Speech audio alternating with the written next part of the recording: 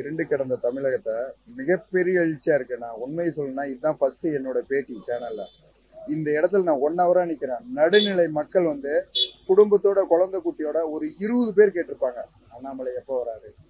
எப்போ வராரு அப்படின்னு அவர் பார்க்கறதுக்கு மிகப்பெரிய புரட்சி ஏற்பட்டு இருக்கு. பூ பூக்கிற மாதிரி மெல்ல மெல்ல மெல்ல என் அண்ணாமலை அவர்கள் இந்த மக்கள்கிட்ட டெய்லி ஒரு குடும்பத்துல தினம் ஒரு முறை பேச வச்சுட்டு இருக்காரு.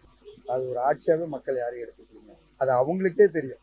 ஆண்டு கொண்டு இருக்கிற ஆட்சியாளர்களுக்கே தெரியும் நம்ம சரியா பண்ணல அப்படிங்கிறதுக்காக. ஐம்பது அறுபது ஆண்டுகளாக ஆட்சி செய்து மக்கள் இன்னும் அதே நிலையில தான் வாழ்ந்துட்டு இருக்காங்க. ஒரு பர்சன்ட் கூட இல்லை. அதனாலதான் அண்ணாமலைக்கு பாருங்க அங்க பாருங்க திரும்பி பாருங்க. அலை அலை அலை அலையா மக்கள் வந்துட்டு இருக்காங்க. எதுவுமே கிடையாதுன்னா அவங்க கட்சிக்காரங்களே சொல்றாங்கன்னா எனக்கு ஸ்டாலின் பிடிக்கும் தனி மனிதனா பிடிக்கும். ஆட்சி வந்து ஜீரோ பர்சன்ட் நூத்துக்கு ஒரு பர்சன்ட் கூட ஆட்சி இல்லை. அது அவருக்கே தெரியும். வந்துட்டான் அப்படிங்கிறதுக்காக அவர் வெளிக்காட்டிக்கல. அப்படி இருக்காரு. என்னென்ன அதுக்கு மகளிர் ஆயிரம் ரூபா திட்டம்னாங்க. இப்ப அவங்கள வந்து தகுதி உள்ள நபர்களாங்க. தகுதி உள்ளவங்களை எப்படி தேர்ந்தெடுக்கிறாங்க? எல்லாரும் மகளிர் தானே?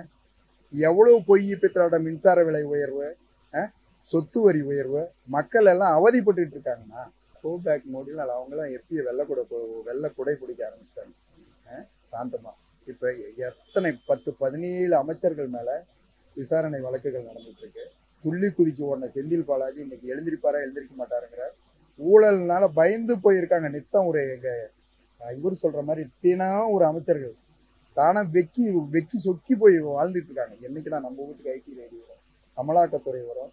ஏன்னா இவங்களுடைய வரலாறுக்கு ஒரு தனி மனிதனால ஆயிரம் கோடி ஐநூறு கோடி நூறு கோடி சம்பாதிக்க முடியுமாங்க? நாற்பது நாற்பது லட்ச ரூபாய்க்கு சொத்து வாங்கி பாருங்களா? நூத்தி பத்து கோடிக்கு விற்கிறாங்கிறேன் பொன்முடி அவர்கள்.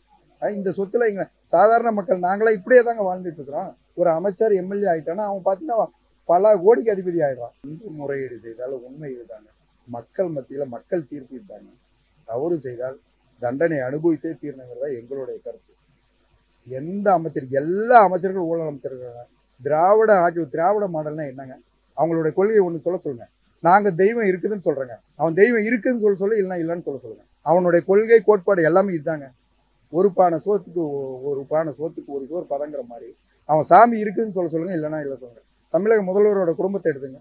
ஒண்ணு இல்லைன்னு சொல்லு சனாதனம் இருக்குதுன்னு சொல்லி இல்லைன்னு சொல்லு தன்னுடைய தாயாரை கட்டுப்படுத்த முடியுமா? இன்னைக்கு பாருங்க கலைகதில் தலைமை செய்து போட்டிருக்காங்க.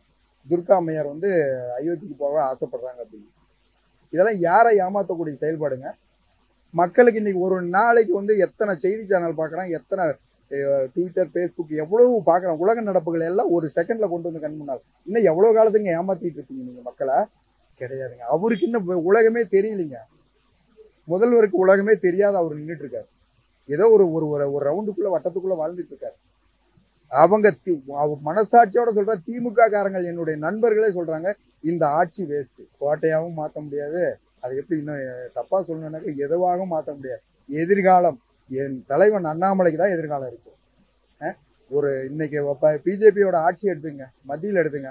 ஒரு முறை இல்லைங்க ஒரு முறை ஜெயிச்சு ஆட்சி பிடிச்சிட்டா ரெண்டு முறை மூணு முறை நாலு முறைன்னு தாங்க வந்துட்டு இருக்கு. ஒவ்வொரு மாநிலத்திலையும் மெல்ல மெல்ல மெல்ல நாங்கள் இங்கே வந்து வளர்ந்துக்கிட்டே தான் இருக்கிறோம். அதுவும் என் தலைவன் அண்ணாமலை வந்த பார்த்து மிகப்பெரிய வளர்ச்சி.